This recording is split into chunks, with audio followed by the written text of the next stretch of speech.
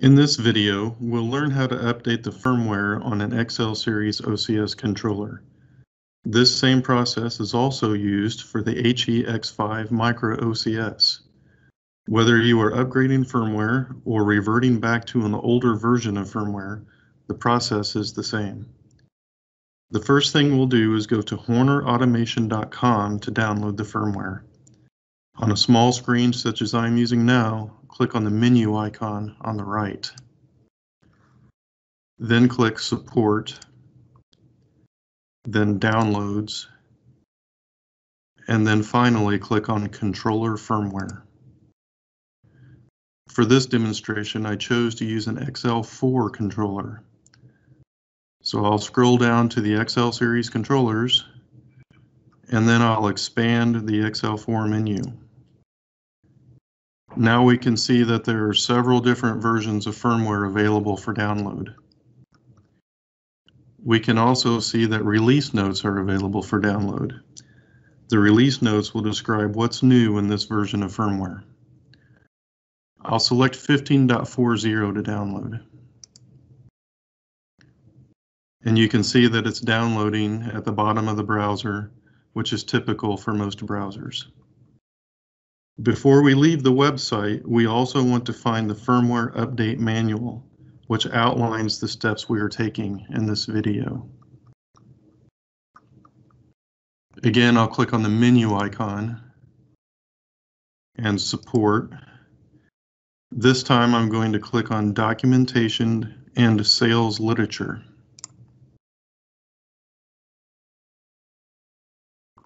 I'll scroll down and look for the search field on the right and simply type firmware.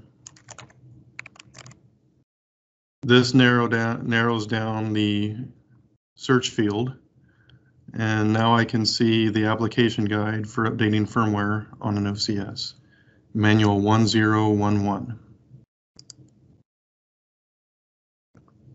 Clicking on the link opens the manual in your browser. You can use it right here from the browser or you can download it to be used later at your convenience. Now that the download is completed, I'll move the files into an accessible location on my hard drive. So we're going to show this is this is the way that I do it. Uh, there's different ways this can be done. I typically show the download in the folder.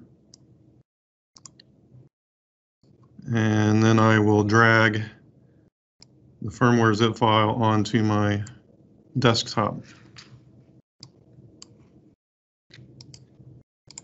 With the XL Series controllers and X5 controller, the firmware update is done from removable media, which is a micro SD card or a USB thumb drive. These controllers do not use the firmware update wizard found in Cscape. The next step is to copy the files we downloaded onto the removable media. I will typically move the entire zip file onto the micro SD card or the USB drive. In this case, I'm using a micro SD card, uh, drive letter D. Now that I have the firmware zip file placed on my micro SD card, I'm going to extract this all here in this folder.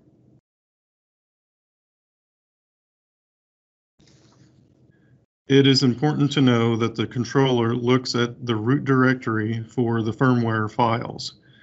So we want to place the files in the root directory of the microSD card. They cannot be in a folder as that changes the path of the files and the controller will not be able to see them. So as we can see right now on the root directory, all my firmware files are in a folder, which is not what we want. So I will go into that folder. I will do a control A to select all. And then control X to cut. Or I can right click and cut. Go back up to the root directory and paste the files.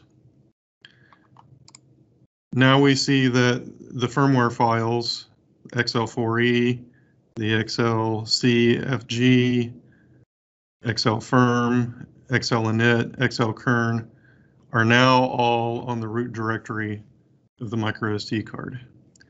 The card is now ready to be taken from the PC and installed into our XL4 to perform the firmware update. I've placed the micro SD card in the slot on top of the unit. But before we do a firmware update, uh, there's some steps that we want to take first.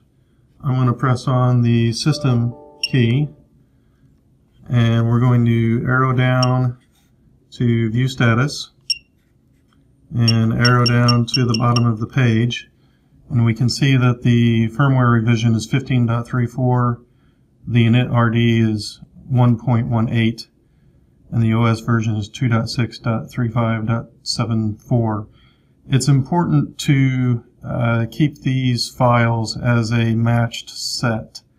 So anytime we're updating firmware or changing firmware, we want to make sure that the file revisions that all go with each other uh, end up showing up the right way here in the status. We also want to go down to removable media and here we can just verify that all of the files uh, that we put on the microSD are in, in fact showing up.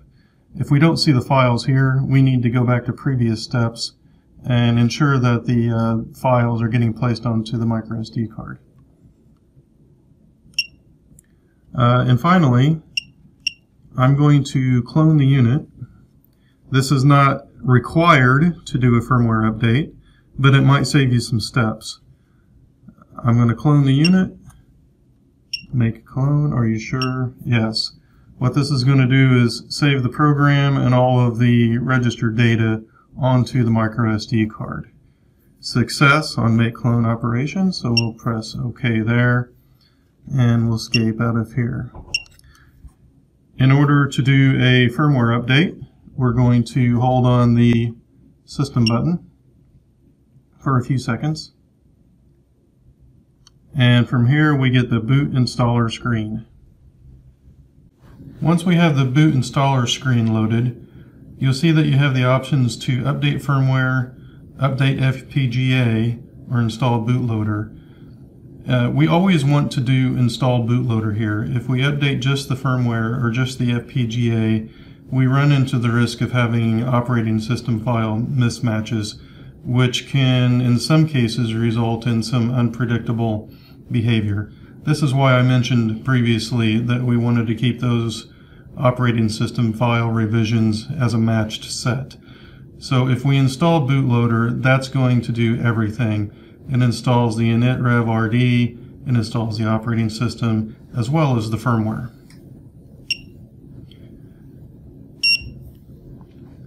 The update will take about one minute, and once that has completed, we'll cycle power to the unit.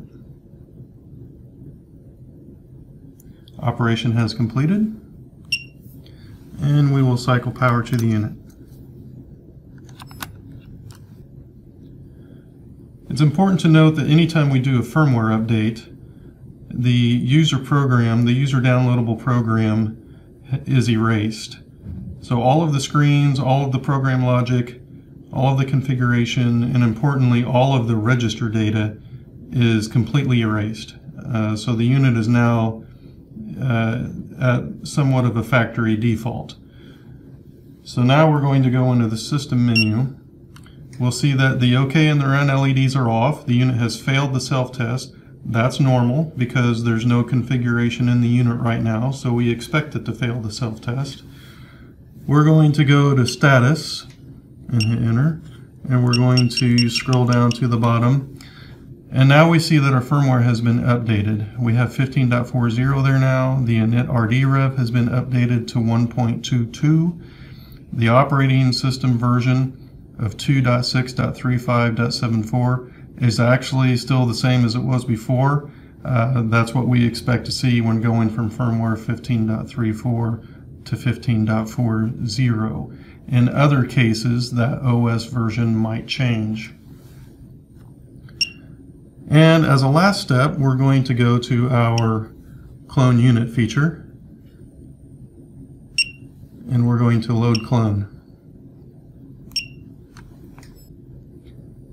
That puts our original program back into the unit.